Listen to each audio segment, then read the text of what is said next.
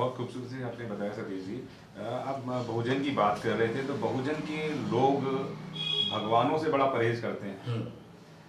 तो वो परहेज क्यों करते हैं? जबकि भगवान ने ही सबको जन्म दिया है सब कुछ है उन्होंने सृष्टि को चलाने वाले भी कहते हैं कि भगवान ही हैं। तो भगवानों से बहुजन समाज के लोगों का परहेज क्यों होता है? हाँ ये बड़ा बड़ा ही अच्छा और बड़ा गंभीर चिंतन वाला सवाल आपने किया है। मैं इस पर बड़ी बेबाक राय अपनी रखना चाहूँगा। ये जो समाज है, विशेष रूप से शोषित, पीड़ित दबा कुचला जो समाज है, इस समाज के ऊपर हज़ारों सालों से अत्याचार होता रहा है। अत्याचार कुछ इस कदर बढ़ा कि जमींदार अपनी खेतों पर इनकी बहन बेटियों से या इन्हीं से बेगार करवाता बेगार मतलब काम करा लो, पैसा मत दो। बेगार कराता था और उन्हीं बहन बेटियों के साथ वो दुराचार भी करता था। और उस बेचारे दगड़ू की औकात नहीं होती थी कि वो ये कह सके कि तुम मेरी बहन के साथ कैसे दुराचार, अत्याचार कर रहे हो। दूसरा जिस मंदिर की स्थापना, जिस मंदिर की एक एक ईंट को जोड़ करके मंदिर बनाने का काम, ये शोषित पीड़ित दबे कुचले समाज के लोग, ये जो कारीगर वर्ग के लोग थे, करते थे, मंदिर बनने के बाद, उसमें प्रतिमा स्थापित होने के बाद, उन्हीं लोगों को उन मंदिर में जाने की इजाज़त नहीं हुआ करती थी। जिस तालाब से कुत्ता पानी पी सकता था, जिस तालाब से कौवा पानी पी सकता था, जिस तालाब से विभिन्न जानवर, पशु, पक्षी पानी पी सकते थे, उन तालाबों से इस मनुष्य को पानी पीने का हक नहीं था। शोषित पीड़ित दबे कुचले समाज के लोगों को वहाँ से पानी पीने का हक नहीं था। पानी जो प्रकृति ने फ्री में उपलब्ध करा है सभी के लिए है जो जिस, जो जिसके लिए सभी मनुष्य समान है, लेकिन फिर भी उनके पर प्रतिबंध लगाया गया। तो सवाल ये पैदा होता है, जब ये प्रतिबंध लगाए जा रहे थे, जब बहन बेटियों की इज़्ज़त खतरे में हुआ करती थी, जब मंदिरों में जाने की इजाज़त नहीं हुआ करती थी, जब प्यास बुझाने के लिए पानी पीने की इजाज़त नहीं हुआ करती थी तो उस समय भगवान कहा कर रहा था? क्या कर रहा था उस समय भगवान? जिस समय हमारी बहन बेटियों की इज़्ज़त लूटी जाती थी, वो कहा था?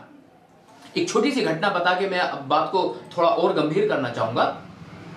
छोटी छोटी बेटियों की शादियाँ हो जाया करती थी। बचपन में बाल विवाह कहा करते थे। इन हिंदुओं में पचास तरह के विवाह होते थे। बाल विवाह, राक्षस विवाह और गंधर्व विवाह और प्रेत विवाह निशाचर विवाह, पिशाच विवाह, हज़ार तरह के विवाह इनके होते थे। बाल विवाह होता था। बाल विवाह में क्या होता था? बेटी है, छोटी है, उसकी शादी हो जाती थी, लेकिन गोने होते थे दस साल बाद। गोने होते गोने का मतलब होता है शादी होने के बाद जब बिटिया अपने पति के घर जाएगी। ऐसा विवाह हुआ करता था। लेकिन कई बार क्या होता था, वो जो बेटी है, वो अभी है तो पिता के घर। शादी तो हो गई, गोना भी हुआ नहीं, इसलिए पति के घर गई नहीं। तो कई बार पति की मृत्यु हो जाया करती थी। जब मृत्यु हो गई तो बेटी घर बैठे बैठे विधवा हो गई। पति के घर जाने से पहले ही विधवा हो गई। दाम्पत्य जीवन शुरू करने से पहले ही विधवा हो गई। जब वो विधवा हो जाती थी तो जानते हो क्या किया जाता था? उस बेटी का विवाह वापस पीपल के पेड़ से कराया जाता था। पीपल के पेड़ से विवाह कराने के पश्चात उसे मंदिर में रहना पड़ता था। मंदिर का रख रखाव करना पड़ता था। मंदिर की साफ़ सफ़ाई करनी पड़ती थी। और मोटे मोटे पेट वाले जो पंडे होते हैं ना, फिर वो उन छोटी छोटी बच्चियों के साथ संबंध बनाते थे। और उनसे जो संतानें उत्पन्न होती थी, उन्हें हरिजन कहा जाता था। इसलिए हरिजन शब्द से हमें परहेज है। दूसरा, जब हमारी बहन बेटी के साथ मंदिर में ही अत्याचार, दुराचार हो रहा था तो उस समय भगवान कहाँ सो रहा था? तो इस वजह से शोषित पीड़ित दबे कुचले समाज के जो लोग हैं, जो जागरूक हो गए हैं, वो इस तरफ़ जानना नहीं चाहते और इस वजह से वो हिंदूवादी देवी देवताओं से परहेज करते हैं क्योंकि जब ज़रूरत थी तो उस ज़रूरत के समय उन्होंने मदद नहीं की। यहाँ एक छोटा सा सिद्धांत और है जो मैं बताना चाहूँगा। पूरी दुनिया में लोग दो सिद्धांत समझते हैं। एक सिद्धांत होता है आस्तिक होना और दूसरा होता है नास्तिक होना। मैं बिल्कुल क्लियर करके बताना चाहता हूँ, आस्तिक वो लोग हैं जो ईश्वर की सत्ता में विश्वास करते हैं। जैसे अगर मुस्लिम भी है तो वो आस्तिक है, वो अल्लाह को मानता है। अगर वो ईसाई है तो वो जीसस को मानता है, गॉड को मानता है, वो भी आस्तिक है। अगर हिंदू है तो वो देवी देवताओं को मानता है तो वो भी आस्तिक है। लेकिन नास्तिक वो व्यक्ति होता है, जो ईश्वरीय सत्ता में विश्वास नहीं रखता, जो ये कहता है भगवान नहीं होता, जो ये कहता है अल्लाह नहीं होता जीजस नहीं होता, जो कुछ भी है वो मनुष्य ही है, वो नास्तिक है। लेकिन एक तीसरी परिपाटी जो आज मैं आपको बताना चाहता हूँ, जिसके ऊपर आधारित है बुद्ध का धम उस परिपाटी को कहते हैं स्वास्तिक।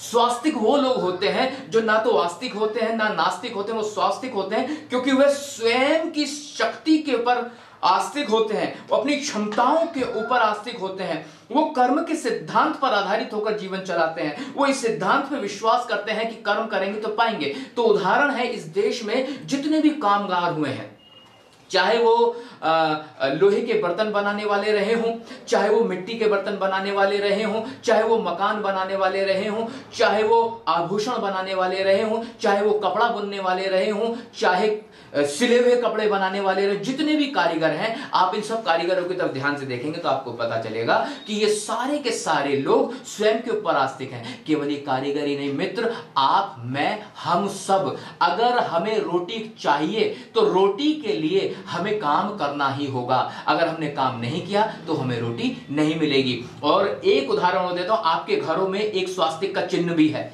स्वास्तिक मतलब जिसे आप सतीय के नाम से जानते हो, हम सबके घरों में वो चिन्ह मिलेगा। ये इस बात का द्योतक है, इस बात का प्रतीक है कि हम सब लोग अजल से स्वास्तिक हैं। ये तो हम भटक गए हैं, मित्र।